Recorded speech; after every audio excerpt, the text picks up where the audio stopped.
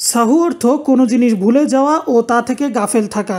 নামাজে সংগঠিত কোনো ত্রুটি সংশোধনের জন্য অথবা নামাজের ওয়াজিব সমূহের মধ্য হতে কোনো একটি ওয়াজিব ভুলক্রমে ছুটে গেলে নামাজের শেষাংশে অথবা নামাজের পরে যে দুটি সিজদা দেওয়া হয় তাকে সহসিজদা বলা হয়। ফরজ ও নফল উভয় প্রকার সালাতের ক্ষেত্রেই এই সিজদার হুকুম একই। সহসিজদার কারণ তিনটি, বেশি হওয়া, কম হওয়া, সন্দেহে পতিত হওয়া। যদি কারও রুকু বা সিজদা বা বৈঠক ভুলক্রমে বেশি হয়ে যায়, তাহলে সে সালাম ফিরানোর পরে সহসেজদা দিবে। অনুরূপভাবে, যদি কেউ ভুলক্রমে কোনো একটি রুকুন ছেড়ে দেয়, যেমন রুকু, সিজদা ইত্যাদি, তাহলে সে এটি আদায় করবে এবং নামাজ পরিপূর্ণ করবে, অতপর সালাম ফিরানোর পর সহসেজদা দিবে। তবে কেউ যদি ভুলক্রমে কোনো ওয়াজিব ছেড়ে দেয়, যেমন প্রথম তাশাহুদ বা তার বৈঠক, তাহলে সে নামাজ চলমান রাখবে, এটি আদায় করতে হবে না, তবে সালামের পূর্বে সহসেজদা দিবে। আর যদি কেউ নামাজের মধ্যে সন্দেহে পতিত হয়, যেমন তার মনে সন্দেহ তৈরি হলো যে সে কি তিন রাকাত পড়েছে নাকি চার রাকাত, যদি কোনো একটি সম্ভাবনাকে প্রাধান্য দেওয়া সম্ভব হয়, তাহলে তার উপর ভিত্তি করে নামাজ পূরণ করবে।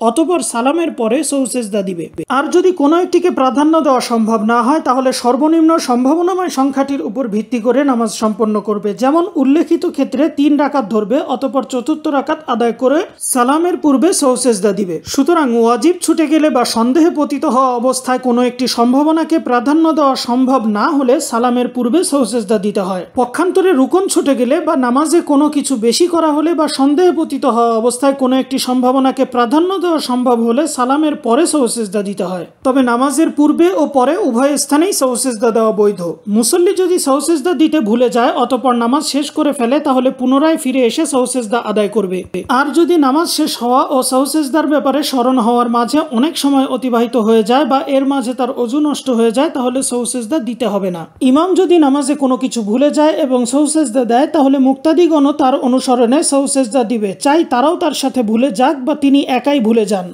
আর যদি ইমামের পিছনে থাকা অবস্থায় মুক্তাদিগণ কোনো কিছু ভুলে যান, তাহলে তার উপর সহসেজদা নেই। তবে তিনি যদি মজবুক হয়ে থাকেন, তাহলে বাকি রাকাতগুলি আদায়ের পরে সিজদা দিবেন। একই নামাজে একাধিকবার ভুলে গেলেও দুই সিজদায় যথেষ্ট। আবু হুরাইরা রাদিয়াল্লাহ তালান হতে বর্ণিত রসুল্লাহ সাল্লাহ আলিয়াল্লাম বলেন, নিশ্চয়ই তোমাদের কেউ যখন নামাজে দণ্ডায়মান হয়, তখন শয়তান তার নিকটে এসে তার নামাজে গোলমাল পাকিয়ে দেয়।